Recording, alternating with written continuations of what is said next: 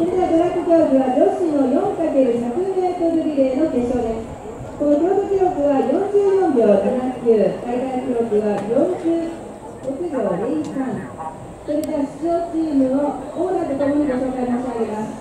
来年最強高校その他は徳川さん大山さん松岡さん吉岡さん第2レーンは最強高校第3レーン龍谷大平安高校上山さん小林さん広瀬さん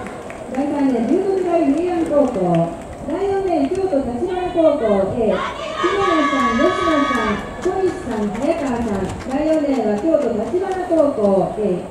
第5レーン大阪成蹊大学石崎さん辻本さん玉村さん中島さん第5レーンは大阪成蹊大学。第6レーン西条洋高校 A 山下さん小西さん久田さん吉田さん第6レーン西条洋高校 A 第7レーン園田女子大学近藤さん稲岡さん鈴木さん第